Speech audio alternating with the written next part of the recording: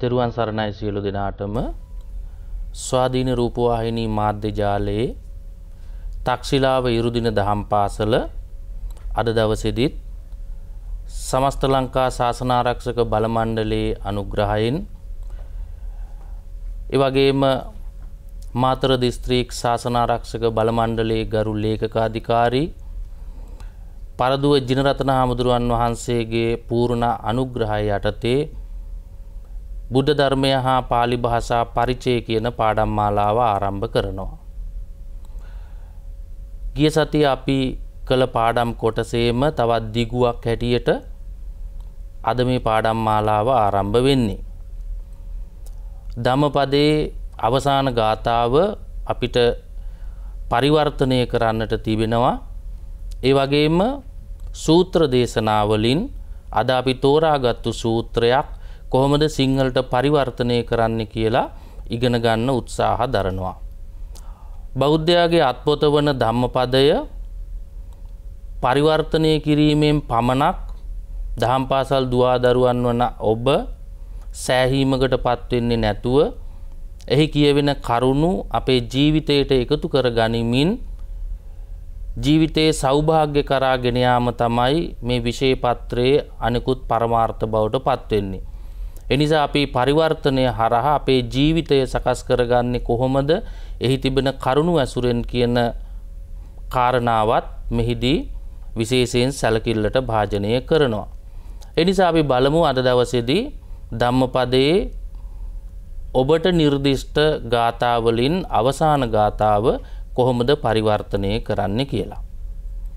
මේ ගාථාව අපිට හමුවෙන්නේ පණ්ඩිත වගේ දා හතරවෙනි ගාථාව යේසං සම්බෝධි අංගේසු සම්මාචිත්තං සුභාවිතං ආදාන පටිනිස්සක්ගේ අනුපාදාය යේ රතා.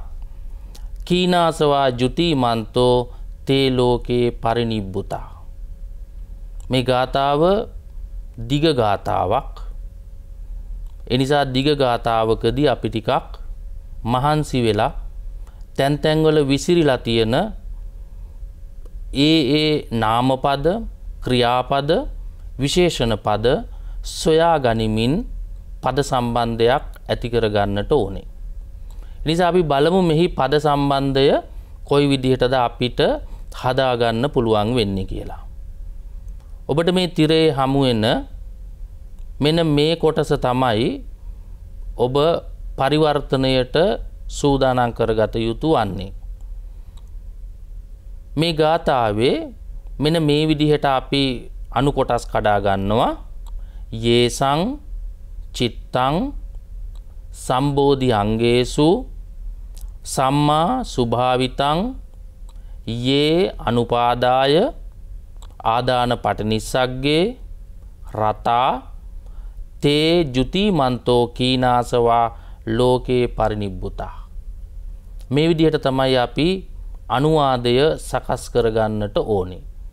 දැන් අපි බලමු මෙහෙම අනුවාදයක් අපිට ගැලපෙන විදිහට සකස් කරගත්තට පස්සේ ගැටලුවකින් තොරව අපහසුවකින් තොරව කොහොමද මේ පරිවර්තනය සිදු කරගන්නේ කියලා.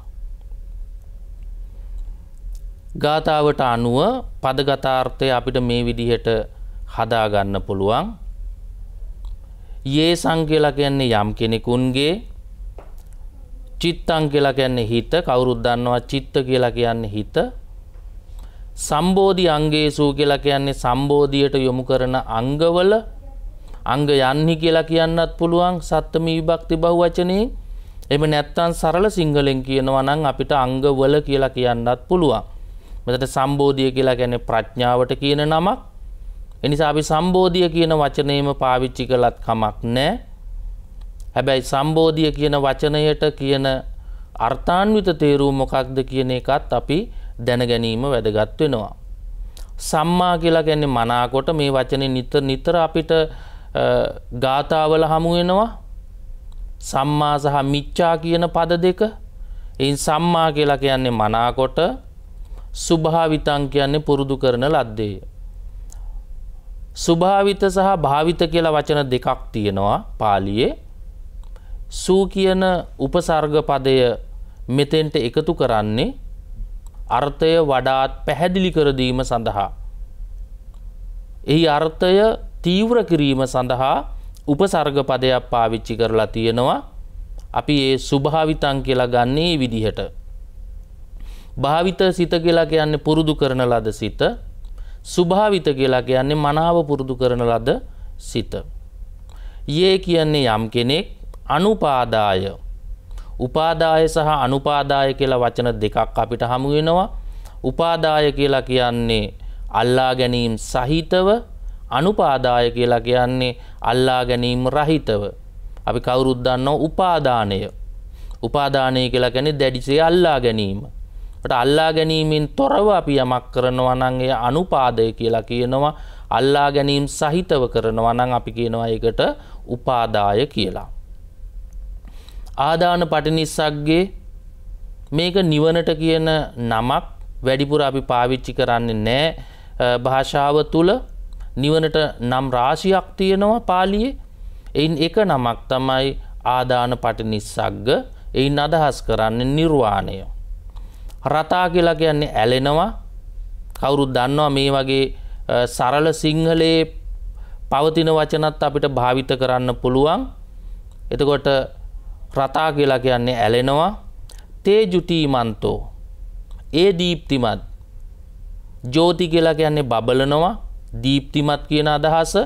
එයින් ඇතිවන නාම පදේ තමයි ජුතීමන්තෝ දීප්තිමත් වූ කීනාසවා කියලා කියන්නේ කෙලෙස් දුරු කළ රහතන් වහන්සේ ඡය කළ කෙලෙස් ඇති යම් කෙනෙක් වේ නම් ඒ රහතන් වහන්සේ ඒ අදහසින් තමයි උන්වහන්සේට කීනාසවා කියලා කියන්නේ. ලෝකයේ පරිනිබ්බුතා ලෝකයේ පිරිනිවියාහුය. තොට අපිට පේනවා මේකේ අපිට ඉගෙන ගන්න අලුත් වචන කීපයක් තියෙනවා. එකක් තමයි සම්බෝධි අංග කියන වචනය අපි නිතරම අහන වචනයක් නෙවෙයි. ඒ නිසා අපි ඒ වචනය ගැන සැලකිල්ලත් දක්වන්නට ඕනේ. අපිට මේ වචනේ තේරුම දන්නේ නැත්නම් සම්බෝධි අංග කියලා කෙනෙක් ලියයි. හැබැයි ඒ වුණාට අපි සරල අර්ථයක් හොයාගන්නට ඕනේ. ඒ වගේම අනුපාදාය කියන වචනය මෙතනදි සැලකිල්ලට භාජනය කරනවා. ඒ වගේම ආදාන පටිනිස්සග්ග කියන වචනයත් ඒ වගේම කීනාසවා කියන වචනයත් අපි වැඩි සැලකිල්ලට භාජනය කරනවා. දරුවනේ සම්බෝධි අංග කියන වචනය අපිට මෙතනදි වැදගත් වෙන්නේ සම්බෝධිය කියලා කියන්නේ ප්‍රඥාවට කියන නමක් ප්‍රඥාවට යොමු කරන සම්බෝධියට යොමු කරන අංග කියන අදහසින් තමයි මෙතනදි සම්බෝධි අංග කියලා පාවිච්චි කරන්නේ. ඇතටම මෙතන සම්බෝධි අංග කියලා කිව්වහම ධර්මයේ සඳහන් වෙනවා බුද්ධත්වයට පත්වීම බෝධියට පත්වීම අවබෝධය ලබා ගැනීම ප්‍රඥාව සඳහා උපයෝගී වන අංග හතක් සඳහන් වෙනවා ඒවට අපි කියනවා බොජ්ජංග ධර්ම කියලා සති ධම්ම විචය විරිය පීති පස්සද්දි සමාධි සහ උපෙක්ඛා කියන මෙන්න මේ හතට කියනවා බොජ්ජංග ධර්ම කියලා. මේ බොජ්ජංග ධර්ම තමයි සම්බෝධි අංග හැටියට මේ ගාථාව තුල අපිට හමු වෙන්නේ. ඒ වගේම තමයි බෝධිපාක්ෂික ධර්ම 37ක් ධර්මයේ සඳහන් වෙනවා.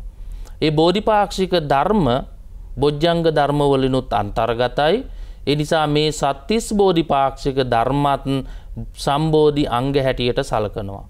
එනිසා අපි පරිවර්තනය කරනකොට මේ ධර්මය පිළිබඳ අවබෝධය ඉතා වැදගත් වෙනවා. ඒ අවබෝධය තුළින් අපිට වැඩි ලකුණු ප්‍රමාණයක් ලබාගන්න පුළුවන්. එනිසා සම්බෝධි අංගයි කියලා මෙතන හඳුන්වන්නේ සත්තිස් බෝධිපාක්ෂික ධර්ම එහෙම නැත්තන් සත්ත බොජ්ජංග ධර්ම.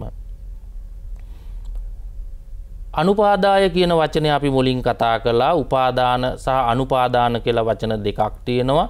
මෙතන වචනේ කැඩෙන්නේ න උපාදාය කියන එක.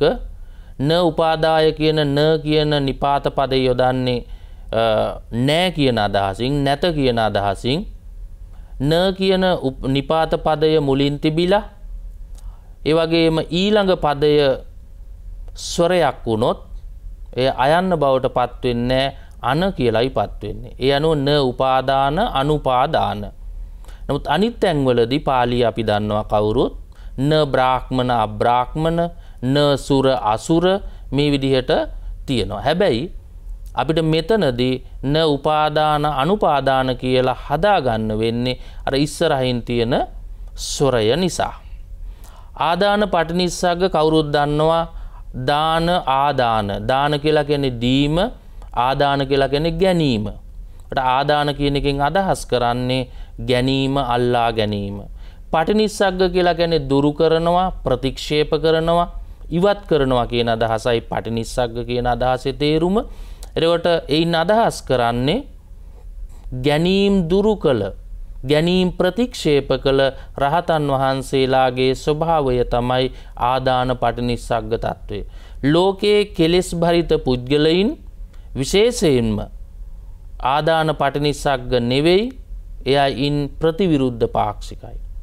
එයින් අදහස් කරන්නේ අල්ලා ගැනීම් අර්ථය. ඒවගේම ලබා ගැනීම් අර්ථයේ ගිජුව කටයුතු කරන අය පෘතක්ජනයින් නමුත් ක්ලේශ ප්‍රහීන කළ උතුමන් වහන්සේලා අල්ලා ගැනීම් ප්‍රතික්ෂේප කරන අය ඒ නිසා ගැනීම් ප්‍රතික්ෂේප කරනවා කියන අදහසින් ආදාන පටනිස්සක්ග කියන වචනය මෙතනද නිවනට භාවිත කරලා තියෙනවා.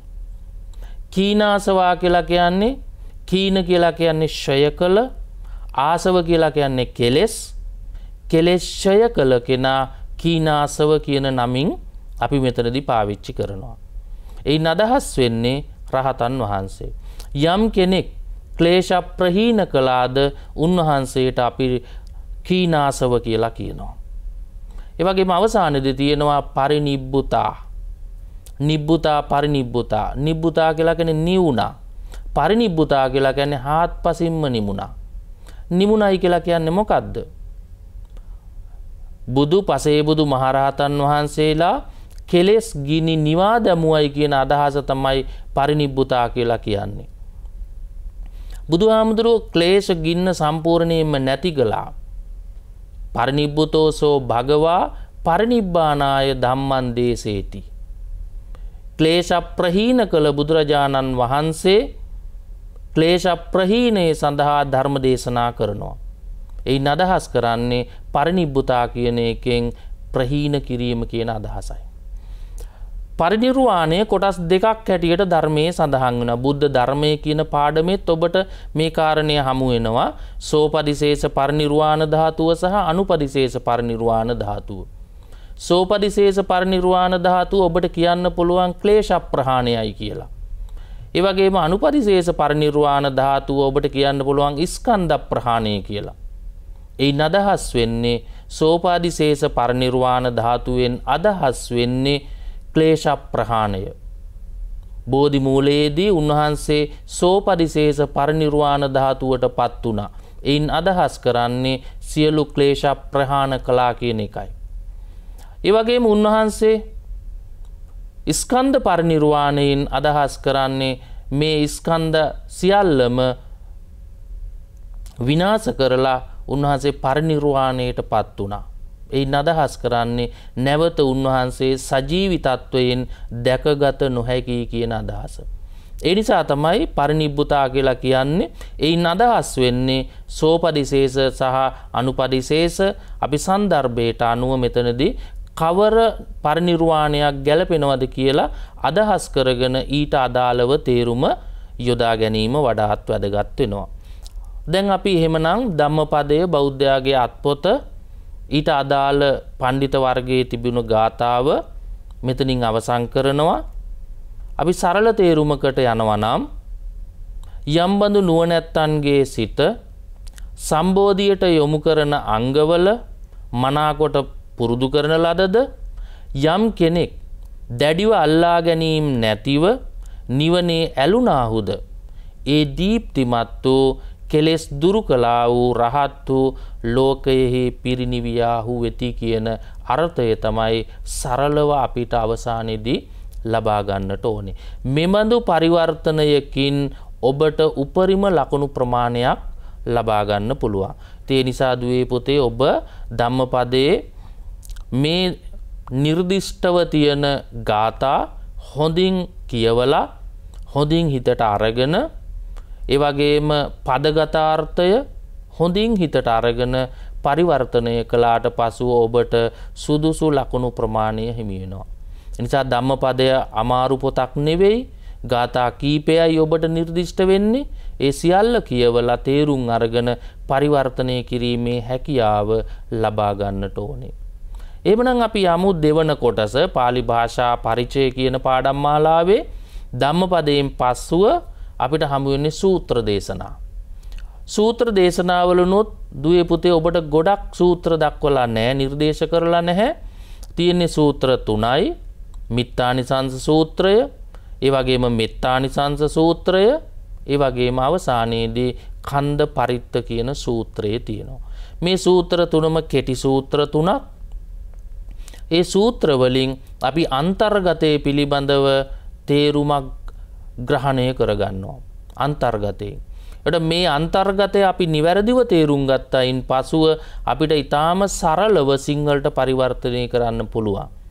ඔබ යම් වචනයක් දන්නේ නැත්තම් කිහිප වතාවක් කියවලා ඒ තේරුම මෙයයි කියලා ඊට ගැලපෙන විදිහට පරිවර්තනය සකස් කර ගන්න ඕනේ.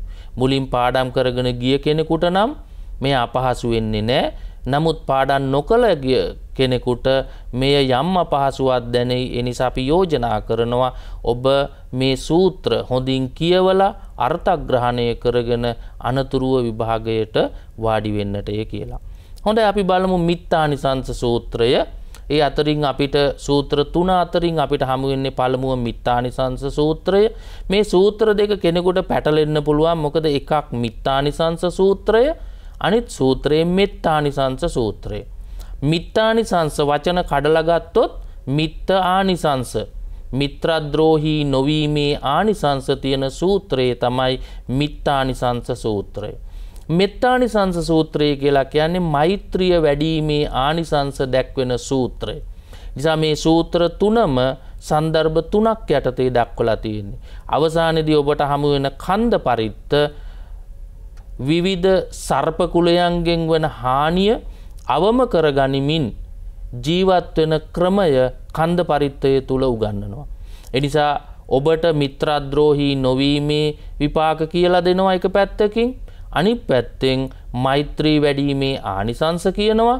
අවසානයේදී සර්ප කුලවලින් හානියක් නොවී ජීවත් වෙන්නේ කොහොමද? ඒ සඳහා අනුගමනය කළ යුතු ක්‍රියාපටිපාටිය කුමක්ද කියන එකයි මෙතනදි සාකච්ඡා කරන්නේ.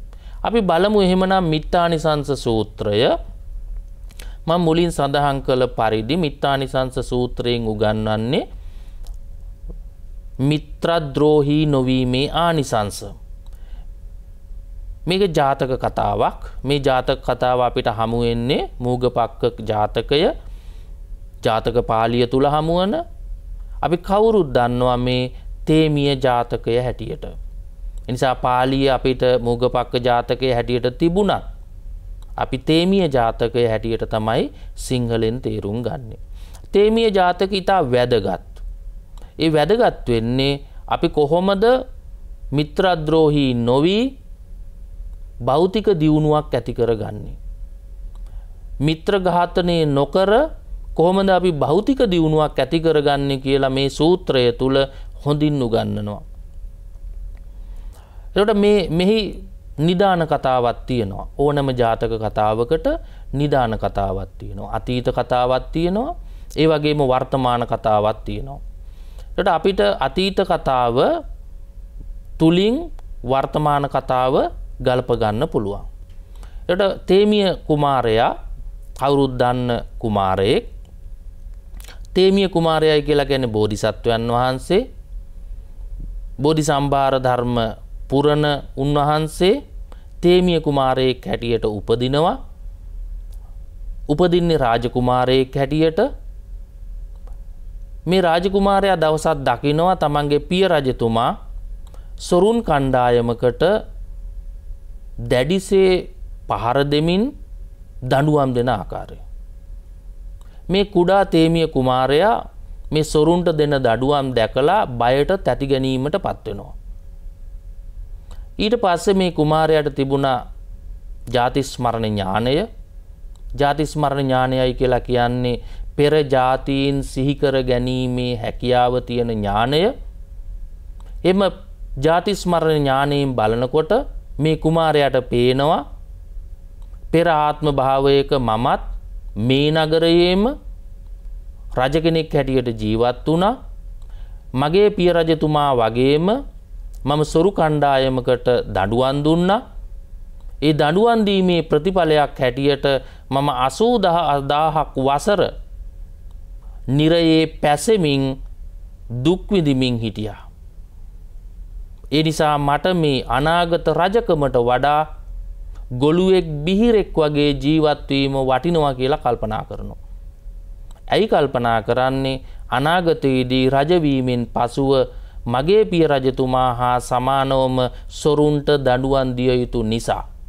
ඒ සොරුන්ට දනුවන් දීම නිසා නැවත නරකයේ උපදින්ට සිදුවෙන නිසා. එනිසා මේ කුමාරයා ගොළුවෙක් බිහිරෙක් වගේ කටයුතු කරන්න අධිෂ්ඨාන කරගත්තා. ටික කාලයක් යනකොට පිය රජතුමාට මේ කුමාරයාගේ වෙනස පේනවා. එහෙම පෙනුනට පස්සේ අංග ලක්ෂණ කියන අය ගෙන්නවල අහනවා කුමාරයාගේ මොකක්ද මේ වෙනසට හේතුව කියලා. මේ නිමිත්ත පාඨකයෝ අංග පාඨකයෝ දැනගෙන හිටියේ නෑ කුමාරයාගේ මේ අසනීපය කුමක්ද කියලා. ඒ වගේම උන් දැනගෙන හිටියේ නෑ කුමාරයාගේ අදිෂ්ඨානය මොකක්ද කියලා. ඒ නිසා මේ නිමිත්ත පාඨකයෝ කියනවා රජතුමනි මේ මහා කාලකන්ණියෙක් එනිසා මේ කාලකන්ණිය නිසා රජතුමාට අපල සිදු වෙනවා ඒ නිසා සොහොනට අරගෙන ගිහිල්ලා වැළලුවොත් ඔබතුමාට මේ එල්ල වෙන අපලයෙන් දුරු වෙන්න පුළුවන් කියලා කියනවා. එනිසා රජතුමා කරන්නේ තමන්ගේ රියදුරාට නැත්තම් රතාචාර්යවරයාට මේ කුමාරයා බාර දීලා කියනවා මේ කුමාරයාව අරගෙන ගිහිල්ලා සොහොනේ වල්ලන්න කියලා. මේ රියදුරා මේ කුමාරයාව අරගෙන සොහොන ළඟට ගිහිල්ලා කුමාරයාව සොහොනේ තියලා වලක් කපන්න පටන් ගත්තා. වලක් කපන්න පටන් ගන්නකොට කුමාරයා හිතනවා දැන් තමයි කතා කරන්න හොඳ අවස්ථාව. ඒ නිසා අර රියදුරා ළඟට ගිහිල්ලා අහනවා රාජ සේවකයෙක් වන ඔබ රජතුමාගේ පුතා මේ විදිහට පනපෙටින් වලලෑම මිත්‍රද්‍රෝහී ක්‍රියාවක් නෙවෙයිද. එවගේම මිත්‍ර ඝාතක පාපකර්මයක් නෙවෙයිද කියලා හනවා. ඊට පස්සේ මේ රියදුරාට කියලා දෙනවා මිත්‍රද්‍රෝහී නොවීමේ විපාක මොනවද කියන එක. ඒ විතරක් නෙවෙයි. මිත්‍රද්‍රෝහී නොවීම නිසා මේ ලෞකික ජීවිතය සැපවත් කර ගැනීමට අවශ්‍ය කරන උපකරණ ලබාගන්නේ කොහොමද කියලත් කියලා දෙනවා. අන්න ඒ සූත්‍රයේ තමයි දුවේ පුතේ මිත්තානිසංස සූත්‍රය කියලා කියන්නේ. එමනම් තේමිය කුමාරයා මිත්‍රද්‍රෝහී නොවීම නිසා මෙලෝ වශයෙන් අපිට ලබා ගන්න පුළුවන් විපාක විපාක අඩංගු ගාථා 10ක් අපිට මෙතනදී හමු වෙනවා. ඔන්න ඔය ගාථා 10 තමයි දුවේ පුතේ අපිට පරිවර්තනය කරන්න ඕනේ. අපි බලමු කොහොමද පරිවර්තනය කරන්න කියලා. පළවෙනි ගාථාව තමයි පහූත බක්කෝ භවති විප්පවුත්තෝ සකහාගරා බහූනං උපජීවන්ති යෝමිත්තානං නදූබති. අපි මේ ගාථාව මේ විදිහටම පරිවර්තනය කරන්නේ. මං මුලින් සඳහන් කළා ගාථාවක් අපිට ඒ විදිහටම පරිවර්තනය කරන්න බෑ. ගාථාවක නාමපද ක්‍රියාපද විශේෂණ පද මේ සියල්ලම විසිරිලා තියෙන්නේ. ඒ විසිරිලා තියෙන නාමපද ක්‍රියාපද අර්ථයට ගැලපෙනසේ අප එකතු කර ගන්නවා. එමනම් අපි බලමු මේ ගාථාවේ කොහොමද නිසි ලෙස මේ ගාථාවන් සකස් කරගන්නේ කියලා. පරිවර්තනය කරනකොට දුවේ පුතේ මෙන්න මේ විදිහට ගාථාව පාඨයක් හැටියට සකස් කරගන්නවා. යෝ මිත්තානං නදූපති කියලා අපිට හමු වෙන්නේ ගාථාවේ හතරවෙනි පාදේ. ඒ වුණාට අපි ඒ ගාථා කොටස තමයි මුලටම එකතු කරන්න. මුලින්ම පරිවර්තනය කරන්නේ යෝ මිත්තානං නදූපති. ඊළඟට තමයි අපි ඊට අදාළ අනෙකුත් තේරුම් ගන්නේ. විප්පවුත්තෝ සකාගරා කියන එක අපිට ගන්න වෙන්නේ සකා ගරා විප්පවුත්තෝ. ඔන්න එමනම් පරිවර්තනය කරනකොට යෝ මිත්තානං නදූබති සකාගරා විප්පවුත්තෝ බහු නං උපජීවන්ති. ඔන්න ඔය විදිහටයි පරිවර්තනය සඳහා අපි අනුවාදයක් සකස් කරගන්නේ. අපි බලමු ඊළඟට මේක අර්ථය මොකක්ද කියලා මේක වැදගත්මදේ තමයි අර්ථය අර්ථග්‍රහණය පෙන්වීම තුළින් තමයි ලකුණු ප්‍රමාණයක් ලබාගන්න පුළුවන් වෙන්නේ ඒ ලකුණු ප්‍රමාණයක් ලබාගත්තායින් පසුව තමයි අපිට සමත්කම ලැබෙන්නේ. එනිසා අපි මහන්සි වෙන්න ඕනේ මෙහි අර්ථය නිසි ලෙස හිතට අරගෙන පරිවර්තනය කරන්න.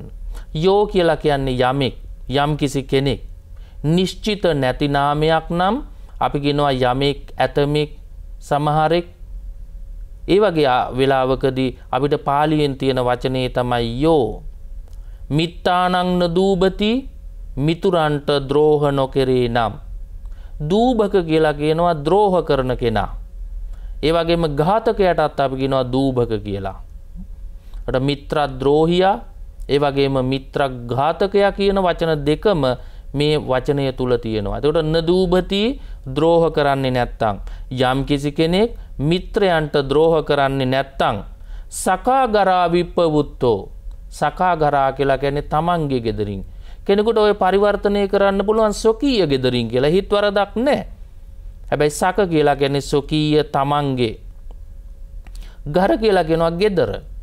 අපිට මේ වගේ වචනයක් අමාරුනම් අපි කීපයක් මේ වගේ කියවලා ඒ වගේම සංසන්ධනය කරලා බලනවා ගර කියලා කියනවා ගෙදරට. අපි කෙනවා ගෘහ බන්ධනය කියලා. ගෘහ ගර එට අපිට අන්න ඒ වගේ සංසන්ධනය කරලා යම් කිසි අර්ථයක් අපිට ගන්න පුළුවන්. එනිසා සකා ගරා කියලා ගැන සියගෙයින් විප්පවුත්තෝ විප්පවුත්තෝ කියලා ගැන බැහැරට ගියත්. විප්පවුත්තෝ කියලා ගැන බැහැරට යනවා. පහූත භක්කෝ භවති තමන්ගේ ගෙදරින් එලියට ගියත් එයාට හොඳට ආහාර ලැබෙනවා. බොහෝ ආහාර පහූත බක්කෝ පහූත කියන අදහස තමයි බොහෝ කියන අදට ගොඩක් කියන අදහස. නිසා බොහෝ ආහාර ඇත්තේ. තමන්ට බුක්තිවිදින්ට තරමටත් වඩා ආහාර ඔහුට නිරායාසයෙන්ම ලැබෙනවා. ඔන්න එක ආනිසංසයක් තමයි මිත්‍රද්‍රෝහී නොවීමේ තමන්ගේ ගෙදරින් එලියට ගියාට පස්සේ තමන්ට හොඳට ආහාර ටික ලැබෙනවා. පහසේ බුක්ති විදින්න පුළුවන් ආහාර අපිට ලැබෙනවා ඒ මිත්‍රද්‍රෝහී නොවීමේ ආනිසංසය. ඊළඟට කියනවා බහූනං උපජීවන්තේ බහූ කියලා කියන්නේ බොහෝ දෙනෙක්. නං කියලා කියන්නේ මේ මිත්‍රද්‍රෝහී නොවන පුද්ගලයා ඇසුරෙන් උපජීවන්ති ජීවත්වෙනවා. තැන් දුවේ පුතේ ඔන්න ඔය විදිහට තමයි අපි මෙහි සරල අර්ථය අරගත යුත්තේ. අපිට මේකේ ව්‍යාකරණ දෙකක් කතා කරන්න පුළුවන්. එකක් තමයි සකා ගරා සකහා ගරා කියලා කියන්නේ පංචමී විභක්තිය. තමන්ගේ ගෙද රිං එලියට යෑමයි කියන්නේ. ගෙද රිං නං අපි කියනවා එක පංචමී කියලා. සිංහලෙන් අපි කෙනවා අපාදාන විභක්තිය කියලා. අපාදාන විභක්තිය හෝ පංචමී විභක්තියේ ප්‍රයෝජනය තමයි යම්කිසි තැනක සිට තවසනකට යනවනං ඒ යෑමේ සීමාව පංචමී විභක්තියෙන් තියෙනවා. ඒ වගේම යම් කිසි කෙනෙකුගෙන් තව කෙනෙ බියට පත්වෙනවා නම් එයත් අපි පංචමී විභක්තියෙන් තියෙන්නේ. එනිසා පංචමී විභක්තිය මෙතනද වෙන්වීමේ සීමාව දැක්විය යුතු නිසා තමයි සකා ගරා කියලා මේ පංචමී විභක්ති ඒක වචනයෙන් තියෙන්නේ. ඊට පස්සේ අපිට හමුවෙනවා පහූත භක්කෝ භක්ක කියලා කියන්නේ ආහාර මේක කෙනෙකුට අමාරු නං අපිට සිංහල වචනයක් තියෙනවා භක්ෂණය. එම නැත්තං අපි කියනවා සර්ව භක්ෂක. ඒවගේම ශාක භක්ෂක මාන්ස භක්ෂක මාන්ස භක්ෂක කියලා කියන්නේ මස් අනුභව කරන. සාක භක්ෂක කියලා කියන්නේ කොල අනුභව කරන. අන්න ඒ වගේ යම් යම් දේවල් එක සංසන්ධනය කරලා අපි බලනවා බක්ක කියන වචනයට කොහොමද තේරුමක් ගන්න කියලා. අනිත්තේවත් එක සංසන්ධනය කරලා බලනකොට අපිට පේනවා මේක ආහාරය ගැනයි මේ කියන්නේ. භක්ෂණය කියලා කැනෙ ආහාරය. බිදිය යුතු දේවල්. එනිසා ඒ වගේ වචනයක් කමුණාම පහූත කියන්නේ බොහෝ භක්ක කියලා කියන්නේ ආහාර ඇති තැනැත්තෙක්. නං කියන වච මේ පදය අපිට වැදගත් වෙනවා තං කියන පදයකුත් හමු වෙනවත් නං කියන පදයකුත් හමු වෙනවා. නං තං කියන මේ පද දෙකම දුතියා විභක්තියෙන් හමුවෙන්නේ අර්ථය වෙනසක් නෑ නමුත් පද දෙකක් හැටියටයි තියෙන්නේ. එනිසා දුවේ පුතේ මෙන්න මේ ගාථාව අවසානයේදී අපිට මෙන්න මේ වගේ සරල අදහසකට යන්න පුළුවන්. යමෙක් මිතුරන්ට ද්‍රෝහ නොකරේ නම් හෙතෙම සිය ගෙයින් බැහැරට ගියේ නමුත් බොහෝ ආහාර ඇත්තෙක් වෙයි. බොහෝ දෙනෙක් ඔහු ඇසුරෙන් ජීවත් වෙති. ඔන්න ඔය අදහස තමයි මේ ගාථාවේ සරල අදහස ඔබ කීප වතාවක් ගාථාව කියවමින් පරිවර්තනය කරනවා නම් ඔබට සරල අදහසකට යන්න පුළුවන්. අපි බලමු දෙවන ගාථාව.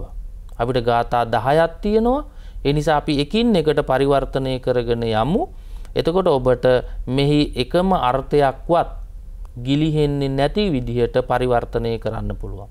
දෙවනි ගාථාව තමයි යං යං ජනපදං ජාති නිගමේ රාජධානියෝ සබ්බත්ත පූජිතෝ හෝති යෝ මිත්තානං නදූබති. මේ ගාථාවත් මේ තියෙන විදිහටම අපිට පරිවර්තනය කරන්න බෑ. එනිසා අපි අපි සරල තේරුමකට යෑම සඳහා මෙහි පදගතාර්ථය අපිට සරිලනසේ වෙනස් කර ගන්නවා. මේ මුළු ගාථා පන්තියේම යෝමිත්තානං නදූභතිී කියන මේ පදය මුලට එනවා. එනිසා එක පාරක් මේ හැම ගාථාවකම අවසාන පාදය තේරුම් ගත්තයින් පසුව නැවත විමසමින් ඉන්නට අවශ්‍ය නෑ. එනිසා හැම ගාථාවකම අවසානති තියෙන යෝමිත්තානන්න දූපති මේ කොටස පළමු කොටස හැටියට පරිවර්තනය කරනවා. එනිසා මේ දෙවන ගාථාවත් යෝමිත්තානං නදූපති කියන එක මුලට ගන්නවා යං යං ජනපදං එය වෙනස් වෙන්නේ නෑ යාති කියන එක හැබැයි අපි අවසානට ගන්න මොකද ක්‍රියාපදය අපි මුලින් තිබුණත් සමල්ලට පරිවර්තනයේදී අපි අගට ආඛ්‍යාත පදය ගන්නවා. නිගමේ රාජධානියෝ දෙවනි පාදය අපිට හමුවෙන නිගමේ රාජධානියෝ කියලා එතට නිගමේ රාජධානියෝ කියන එකින් පස්සෙ තමයි යාති කියලා අපි ක්‍රියාපදය එකතු කරන්නේ. එවනම් මෙහි පරිවර්තනය කරනකොට යෝ මිත්තානං නදූපති යං යං ජනපදං නිගමේ රාජධානියෝ යාති සබ්බත්හ පූජිතෝ හෝති. බන්න කොච්චර සරලද මේ වගේ ගාථාවක් පරිවර්තනය කරන්න මොන තරන් සරලද අපිට. ටිකක් තේරුම හොඳින් කියවලා ඒ වගේම අර්ථග්‍රහණය කරලා ඉන් අනතුරුව තමයි අපි පරිවර්තනය කළ යුතු වන්නේ. අපි බලමු මෙහි පරිවර්තනය කොයි විදිහටද සකස් වෙන්නට ඕනෙ කියලා. යෝබිත්තානං නදූභති යමෙක් මිතුරන්ට ද්‍රෝහ නොකෙරේ නම් මොක දූභක කියනවා ද්‍රෝහියට ඒ වගේම ඝාතකයට ඒ විතරක් නෙවෙයි අකුෘතඥයාටත් දූභක කියනවා. එනිසා අපිට තවත් විදිකින් කියන්න පුළුවන් යමෙක් මිතුරන්ට අකුෘතඥ වේ නම් එයාටත් මේ විපාක ලැබෙන. අකුෘතඥ වෙනවයි ගැන ද්‍රෝහි වෙනවම තමා. ඒ නිසා අපිට කොයි විදිහට පරිවර්තනය කළත් එහි වරදක් නෑ අපිට පෙන්නන්න ඕනේ අපි මෙහි අර්ථය තේරුම් අරගෙන තියෙනවයි කියන එක. යං යං ජනපදං යං යං කියන්නේ යම් යම් කියන එකමයි බලන්න පාලියයි සිංහලයි අතර එහෙම වෙනසක් නෑ. යං යං කියලාගෙන යම් යම් කියන එක ජනපදං කියන වචනය එහෙමම පාවිච්චි කරනවා ජනපදය කියන වචනය නිගමේ කියලා අපි පාවිච්චි කරනවා නියම් ගමට රාජධානියෝ කියලා ගැන රාජධානයට. මේවට අපි අමුතුවෙන් සිංහල පද එකතු කළ යුතු නෑ. ගම නියම්ගම රාජධානිය මේවා ඕනම කෙනෙකුට සිංහලයේ තේරුම් ගන්න පුළුවන් ඒවා. එනිසා අපිට සරලව මෙහි තේරුම ග්‍රහණය කර ගන්න පුළුවන්. එනිසා යමෙක් මිත්‍රයන්ට ද්‍රෝහී නොවේ නම් අකුරුතඥ නොවේ නම් යම් යම් ජනපදයකට නියම් ගමකට එහෙමන් නැත්තං රාජධානියකට යාති අන්න යාති කියලා කියන්නේ ක්‍රියාපදය එහෙම නැත්තම් අපි කියනවා අවසානක් ක්‍රියාව කියලා. දැන් කවුරුත් දන්නවා පටම පුරුෂ ඒක වචන පදයක් යාති බහුවචනයේ යන්ති යාහි යාත යාමි යාම කියලා අපි මේක වර්තමානයේ වරණගනවා. එට අපිට කිසිම ගැටලුවක් නෑ යෝ යාති යෝ ජනපදං යාති යමෙක් ජනපදයට යයිද. අපිට ඒ වගේ වාක්‍ය හදන්න පුළුවන් මේ සූත්‍ර අදාළ කරගෙන. එනිසා ජනපදං ජනපදයකට නිගමේ නියම්ගමකට රාජධානියෝ රාජධානියකට යාති යනවද සබ්බත්ත සබ්බත්ත කියලා ගැන සියලු තැන්වල සබ්බ කියලාගෙන සියලු කියන අර්ථය. එතකොට සබ්බත්ත කියලා කියන්නේ සියලු තැන්වල පූජිතෝ හෝති. යා පුදන ලද්දෙක් වෙනවා. පුදන ලද කෙනාට අපි කියනවා පූජාර්හ කියලා. පිදීමට සුදුස්සෙක් වෙනවා. ඇයි සුදුස්සෙක් වෙන්නේ ඔහු යන යන තැන මිත්‍රද්‍රෝහී නොවීම නිසා. එනිසා ගමකට ගියත් නියම් ගමකට ගියත් රාජධානියකට ගියත් මිත්‍රද්‍රෝහී නොවීම නිසා සියලු තැන්වල පූජාර්හ කෙනෙක් බවට පත්වෙනවා. මෙන මේ අර්ථය තමයි මේ ගාථාව අපි සරලව තේරුම් ගත යුත්තේ. අපි බලමු මේ ගාථාවට අදාළව අපිට තවත් මොනවද අධ්‍යයනය කරන්න තියෙන මේ ගාථාවත් එක්කම අපි පාලිගන ගන්නවා. ඒ වගේම තමයි අපි මෙහි ධර්ම කරුණු ඉගෙන ගන්නවා. දැන් කවුරුත් දන්නවා ජනපද නියම්ගම් රාජධානි මේවා කුඩා තැන්වල ඉඳලා ලොකු තැන්වලට යන ස්ථාන. ගම ජනපද නියංගම් රාජධානි කුඩා තැන්වල ඉඳලා ඉහළ තැන්වලට යන ක්‍රමය මේ රාජධානයක් කියලා කියන්නේ විශාල රාජ්‍යයක්. හැබැයි ගමක් එහෙම නෙවෙයි. ජනපදයක් එහෙම නෙවෙයි. ඒ නිසා ඒ කුඩා තැනක සිට ලොකු තැනකට ගියත් ඕනම තැනකට ගියත් කියන අදහසින් තමයි මෙතන ජනපදං නිගමේ රාජධානියෝ කියලා තියෙන්නේ. එට පූජිතෝ හෝති පුදන ලද්දේ වෙයි. අපිට ඔන්නම් පූජිතෝ කියල නවත්තන්නත් පුළුවන්. එතනත් ආක්‍යාත පදයක් හැටියට ගන්න පුළුවන් අවස්ථාවත් තියෙනවා. අතීත කෘදන්ත පදයක් හැටියට ඔය සමහර දුවාදරුවනං ඉගෙනගෙන තියෙනවා අතීත කෘදන්ත පද. අතීත කෘදන්ත පදයක් අපිට ආක්‍යාතයක් හැටියට යොදන්නත් පුළුවන්. හැබැයි අපි තවත් සරලව තේරුම් ගැනීම සඳහා කෘදන්ත පදය ආක්‍යාත පදයක් එක්ක එකතු කරලා කියනවා පූජිතෝ හෝති පුදන ලද්දේ වෙයි කියලා. එන්න මේ අදහස තමයි දුවේ පුතේ මෙන්න මේ ගාථාව තුළ තියෙන්නේ. අපි බලමු එහෙමනම් ඊළඟ ගාථාව මිත්‍රද්‍රෝහී නොවීම නිසා අපේ මේ ලෞකික ජීවිතය සැපුවත් කරගන්න ලැබෙන දේවල් මොනවද කියන එක. ඊළඟ ගාථාව තමයි නාස චෝරා පසහන්ති නාතිමං්්‍යේති කත්තියෝ සබ්බේ අමිත්තේ තරති යෝ මිත්තානං නදූබති. මේ සූත්‍රයේ තවත් වැදගත් විපාක කීපයක් කියනවා. යෝමිත්තානන්න දූපති යමෙක් මිතුරන්ට ද්‍රෝහ නොකෙරේ නම් යමෙක් මිතුරන්ට අකුරුතඥ නොවේ නම් නාස්සචෝරා පසහන්ති. අපි ඒ සන්ධිපදය වෙන් කරගන්නවා නාස්ස කියන එක න අස්ස න කියලා කියන්නේ නෑ කියන එක අස්ස කියන්නේ මොහුට එට න අස්ස කියන එක තමයි සන්ධිපදය නාස්ස බවට පත්වෙලා තියෙන්නේ. සන්ධිපදයක් කියලා කියන්නේ අන්‍යෝන්‍ය සම්බන්ධය තියෙන පද දෙකක් එක පදයක් බවට පත්කිරීමට අපි ගෙනව සන්ධියක් කියලා. එය පද දෙකක් නොවෙන්න පුළුවන් පද තුනක් හතරක් වෙන්නත් පුළුවන්.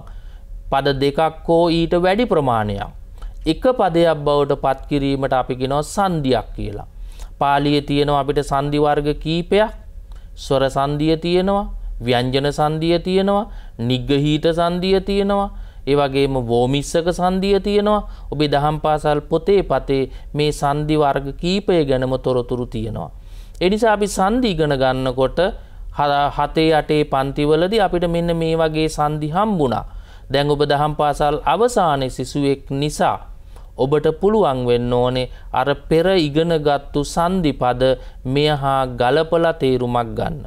ඒ නිසා අපි තේරුම පරිවර්තනය කරනකොට යෝමිත්තානන්න දූපති අස්ස චෝරා න පසහන්ති.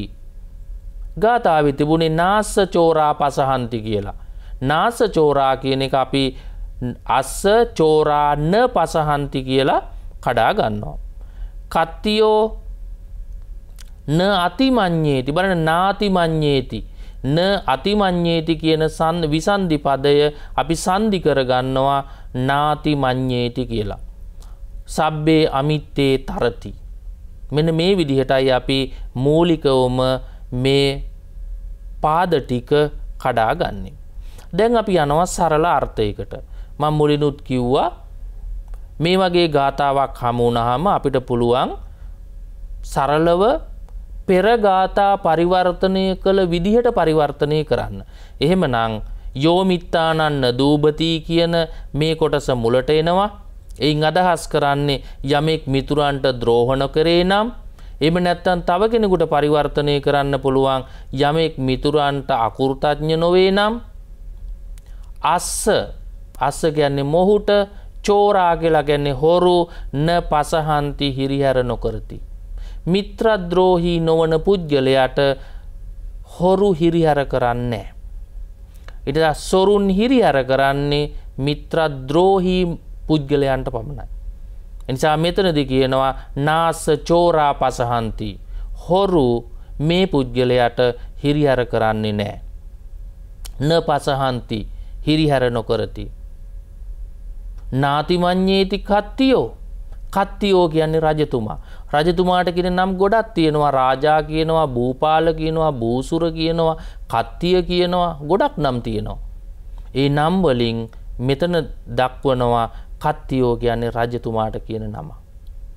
න අතිමං්්‍යේති අවමං කරන්නේ. රජ්ජුරුවෝ ඇවිල්ලා මේ පුද්ගලයන්ට අවමං කරන්නේ. රජතුමාගේ අවමානය මිනිසුන්ට තද බල ලෙස බලපානවා. සමාජයේ ජීවත් වන කෙනෙක් තව කෙනෙකුගෙන් අවමන් නොවිදමින් කටයුතු කරන්නට ඕනේ. නිසා රජුගෙන් අවමන් ලැබෙන්නේ නෑ මිත්‍රද්‍රෝහී නොවන පුද්ගලයට. ඒකයි නාති මං්්‍යේති කත්තියෝ රජුගෙන් අවමන් ලැබෙන්නේ. සබ්බේ අමිත්තේ තරති. අන්න අපිට වචනයක් කර අරගන්න පුළුවන් මිත්ත ඇන් අමිත්ත. මිත්ත ඇන් මිත්ත සහ අමිත්ත.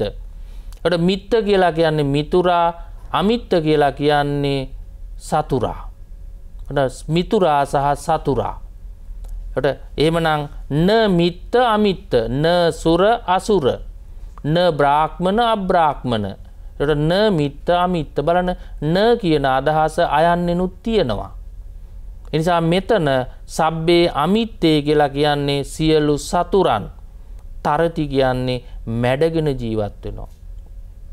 සියලු සතුරන් මැඩගෙන ජීවත්වීමේ හැකියාව ලැබෙනවා මිත්‍රද්‍රෝහී නොවන පුද්ගලයාට. එමනම් මේ වගේ ගාථාවකින් අපි තේරුම ගන්න කොහොමද යෝ මිත්තානං නදූපති යමෙක් මිතුරන්ට ද්‍රෝහ නොකරේ නම් නාස්ස චෝරා පසහන්ති අස්ස චෝරා න පසහන්ති අස්ස කියන්නේ මොහුට චෝරා කියන්නේ හොරු න පසහන්ති හිරිහැර නොකරති කත්තියෝන අතිමං්්‍යේති රජතුමා අවමන් නොකරයි සබ්බේ අමිත්තේ තරති සියලු සතුරන් මැඩගෙනයයි තරණය කරනවා කියලා ගැන මැඩගෙන යනවා. එනිසා සියලු සතුරන් පරාජය කරන්න මේ පුද්ගලයට පුළුවන්. එනිසා සතුරන්ගෙන් හානියක් වෙන්නේ නෑ. සතුරෝ මිතුරු කරගන්නත් පුළුවන් ඒ වගේම සතුරන්ගෙන් වෙන හානිය මැඩපවත්වන්නත් පුළුවන්. ඒ කුමක් නිසාද යෝ මිත්තානං නදූපති මිත්‍රද්‍රෝහී නොවීම නිසා. එනිසා මේ ගාථාවෙන් අපිට කරුණු තුනක් කියනවා එකක් තමයි සොරුන් හිරිහර කරන්නේ නෑ දෙක රජතුමාගෙන් හානියක් වෙන්නේ නෑ තුන්වෙනි එක සතුරන් මැඩගෙන ජීවත්වීමේ හැකියාව. එමනං ඔන්න දුවේ පුතේ මිත්‍රද්‍රෝහි නොවී මේ ආනිසංස මේ ගාථාව තුළත් අපිට හමු වුණත් තුනක් හැටියට. එමන අපි සරලව බලමු මෙහි තේරුම කොහොමද කියලා යමෙක් මිතුරන්ට ද්‍රෝහ නොකරේ නම් මොහුට සොරු හිරිහැර නොකරති රජු අවමන් නොකරයි ඔහු සියලු සතුරං මැඩගෙන යයි. මෙහෙම තිබ්බහම ඇති. අපිට කරුණු ටික තේරුණා නම් අපි කරුණු ටික අවබෝධ කරගත්තා නම් අපිට සරලව සිංහලට පරිවර්තනය කරන්න පුළුවන්. අපි බලමු තව ගාතාවක්. මේ ගාථාවලින් අපිට පරිවර්තනය විතරක් නෙවෙයි ජීවිතාවබෝධයකුත් ලබා ගන්න පුළුවන්. ඒ වගේම පාලි භාෂාව පිළිබඳව අපිට දැනුමකුත් ලබා ගන්න පුළුවන්. ඊළඟ ගාථාව තමයි මිත්තානි සංසය අපිට හමුවන අක්කුද්දෝ සගරං ඒති සභාය පටිනන්දිතෝ ඥාතීනං උත්තමෝ හෝති යෝ මිත්තානං නදූබති. අර අවසානයේදී අපිට හමු වෙන යෝ මිත්තානං නදූබති කියන පදය අපි ඉස්සරහට අරගන්නවා. යෝ මිත්තානං නදූබති අක්කුද්දෝ සගරං ඒති. අපිට වෙනස් කරන්න දෙයක් නැහැ. ඒ සරල තේරුම ඒ වාක්‍ය තුල එහෙමම තියෙනවා. අක්කුද්දෝ සගරං ඒති. සභාය පටිනන්දිතෝ බන් හරි සරල ගාථාවක් මේක. තියෙන විදිහටම පරිවර්තනය කරන්න පුළුවන්. සභාය පටිනන්දිතෝ ඥාතීනං උත්තමෝ හෝති. බන අපිට කිසිම වෙනසක් නැතුව මේ ගාථාව ඒ විදිහටම සිංහලට පරිවර්තනය කරන්න පුළුවන්. එමනම් අපි බලමු කොහොමද මේ ගාථාව ගැටලුවක් නැතුව සිංහලට පරිවර්තනය කරන්න කියලා. යෝ කියන්නේ යමෙක් මිත්තානන්න දූපති මිතුරන්ට ද්‍රෝහණ කරේ නම් එම නැත්තම් මිතුරන්ට අකුෘතඥ නොවේ නම් අක්කුද්දෝ. කුද්ද සහ අක්කුද්ද. කුද්ද කියලාගෙනවා කෝපය. අක්කුද්ද කියලාගෙන න කුද්ද. කෝපයක් නෑ කේන්තියකින් තොරව කෝපයෙන් තොරව අක්කුද්දෝ. කෝපයක් නැතුව සගරං. සගරං. ස කියලාගෙන ස්වකීය තමන්ගේ. ගරං කියලා කියන්නේ ගෙදරට. දැන් මේ ගරං කියන පදය අපිට මීට පෙරත් හමු වුණා. ඒ නිසා අපිට අලුතෙන් තවදුරටත් මේ වචනය මොකක්ද කියන එක හිත හිත ඉන්නට අවශ්‍ය වෙන්නේ නැහැ. ස කියන්නේ ස්වකීය තමන්ගේ ගරං කියන ගෙදරට ඒති එයි. කිසිම ගැටලුවක් නැහැ ගච්ඡති යයි යාති යයි ඒති එයි. බඳ යාති ඒති යාති කියන්නේ යනවා ඒති කියන්නේ එනවා. එට ඒති එන්ති එයි ඇති එට අපිට සරලව මේ ගාථාවක් තුළින් ආක්‍යාත පදයකුත් තේරුම් ගන්න පුළුවන්. සභාය පටිනන්දිතෝ. සභාය කියලා ගැන සභාවේදී පටිනන්දිතෝ සතුටු වූයේ වෙයි. නන්දන කියනවා සතුටට. ආනන්ද හාමුදුරුවන්ගේ තියෙන ආනන්ද කියලා කියන්නේ ඇයි? ආනන්ද ගැන සතුට. අපි සිංහලේ තිනවා නද කියලා. ආනන්ද අනද නද. බණ්ඩකොට මෙතනත් තියෙන්නේ නන්දිතෝ. සතුටු වෙනවා. හාත් පසින්ම සතුටු වෙනවා කියන අදහසින් තමයි පටි නන්දිතෝ කියලා කියන්නේ. මේ පටි කියන උපසර්ග පදය මේ පදයත් එක්ක එකතු කළහම ඒකෙන් අදහස් කරෙන්නේ හාත් පසින්ම සතුටුනායික නැත නන්දිතෝ කියන පදයත් ගැලපෙනවා මේකට. හැබැයි ඊට වඩා හොඳටම සංපූර්ණ ලෙසම සතුටු වෙනවා කියන අදහසින් තමයි පටිනන්දිතෝ කියන මේ පදේ පාවිච්චි කරලා තියෙන්නේ. ඥාතීනං උත්තමෝ හෝති නෑයන් අතර උතුම්ම නෑය බවට පත්වෙනවා. බලන දුවේ පුතේ මෙතනදී මිත්‍රද්‍රෝහී නොවීමේ ආනිසංස කීපයක් කියනවා. එකක් තමයි අක්කුද්දෝ සගරංගේති කේන්තියක් නැතුව කෝපයක් නැතුව තමන්ගේ ගෙදරට එන්න පුළුවන්. තමන්ගේ ගෙදරට කෝපයෙන්න්නම් එන්නේ යම් කිසි කෙනෙක් ඒ තමන්ගේ කෝපය නිසා බොහෝ දෙනෙක් පසු තැවිල්ලට පත්වෙනවා. එනිසා කෝපය ක්‍රෝධය නැති කරගත යුත්තක්. එනිසා පිටත අපිට ලැබෙන කෝපය ක්‍රෝධය අපි ගෙදරට අරගෙන ඇවිල්ලා ගෙදර අයවත් කේන්තිගස්වනවා කෝප කරවනවා. නිසා මිත්‍රද්‍රෝහී නොවන පුද්ගලයාට එම පිටතදී කවදාවත් කෝපයක් එන්නේ නෑ. ය තමන්ගේ ගෙදරට සතුටෙන් එන්න පුළුවන් වෙන්නේ එම මිත්‍රද්‍රෝහී නොවන පුද්ගලයාට. එම නැත්තං මාර්ගයේදී වෙනත් තැනකදී විවිධ හිරිහැරවලට විවිධ කරදරවලට ඔහුට මුහුණ පාන්නට සිද්ධ වෙනවා. ඒ නිසා තමයි කෝපයක් ඇති වෙන්නේ. නිසා හිරිහරයක් නැතුව තමන්ගේ ගෙදරට එනකොට බොහොම ලේසියෙන් අනෙත් අයව තමන්ව පිළිගන්නවා. බොහොම පහසුවෙන් පිළිගන්නවා. සතුටු සිනාවෙන් පිළිගන්නවා. ගෙදරට තමන්ට බොහොම පහසුවෙන් එන්න පුළුවන්. සගරං තමන්ගේ ගෙදරට. යම්කිසි සභාවකට ගියපුහාම ඒකෙදි සතුටු වෙනවා. මෙයා කියන දේනිුත් සතුටු වෙනවා අනිත් අයගේ දේවලනුත් මොහු සතුටු වෙනවා. ඒ විතරක් නෙවෙයි සියලු නෑයන් අතර උතුම්ම නෑය බවට පත්වෙනවා මිත්‍රද්‍රෝහී නොවන පුද්ගලයා. එනිසා දුවේ පුතේ මිත්‍රද්‍රෝහී නොවීමේ ආනිසංස තමයි කෝපයෙන් තොරව තමන්ගේ ගෙදරට එන්න පුළුවන් යම්කිසි සභාවකට ගියපුහාම එතනදි සතුටු වෙනවා ඒ විතරක් නෙවෙයි නෑයන් අතර උතුම්ම නෑය බවට පත්වෙනවා මිත්‍රද්‍රෝහී නොවන පුද්ගලයා. ඉතිය නිසා දුවේ පුතේ මේ පරිවර්තනයට පමණක් සීමා නොවී තමන්ගේ ජීවිතයටත් එකතු කර ගනිමින් මේ පාඩම් මාලාව තවදුරටත් ඉගෙන ගැනීම අවශ්‍ය වෙනවා. එමනම් අපි වෙනත් දවසකදී මිත්තානිසංස සූත්‍රය මේ විදිහටම පරිවර්තනය කරමු. මේ පරිවර්තන කාර්යත් ඒ වගේම පාලි භාෂා ඥානය ඔබට ලබා දෙමින් මේ සඳහා සංවිධාන කටයුතු සිදු කරන ස්වාධීන රූපවාහිනී මාධ්‍යජාලයේ සභාපතිතුමා ප්‍රධාන සියලු දෙනාටමත් ඒ වගේම මෙහි අධීක්ෂණ කටයුතු සිදු කරන මාතර දිස්ත්‍රීක් ශාසනාරක්ෂක බලමණ්ඩලයේ ගරු ලේකකාධිකාරී පරදුවේ ජිනරතන හාමුදුරුවන් වහන්සේටත් පුණ්‍ය අනුමෝදනා කරමින් අද දවසේ මේ පාඩම් කොටස අවසන් කරනවා. නැවත මිත්තානිසංස සූත්‍රයේ ඉතිරි කොටස වෙනත් දවසකදී ඔබට පරිවර්තනය කිරීමේ හැකියාව ලබා දෙමින් එමනම් අද දවස මේ කටයුත්තට සහභාගි වෙච්ච සියලු දෙනාටම සම්මා සම්බුදු සරණයි කියලා ප්‍රාර්ථනා කරනවා. ත්වන් සරණයි.